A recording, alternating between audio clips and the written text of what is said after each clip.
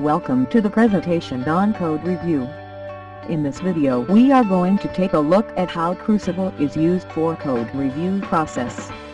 Crucible is an open source tool from Atlassian. Let's create a sample issue in Jira.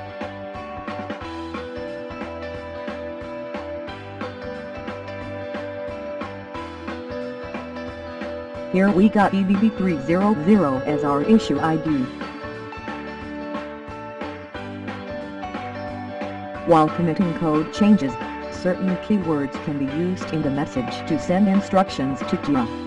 Jira starts a new code review if +review found in the commit message.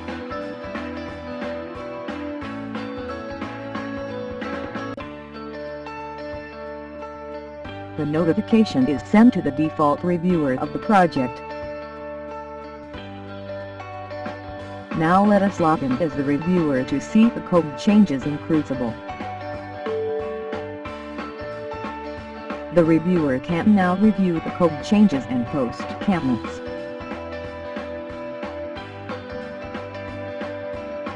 The posted comments are notified to the developer and the developer makes necessary modifications.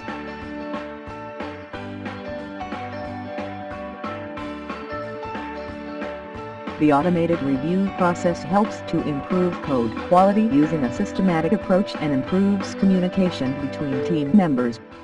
Thank you.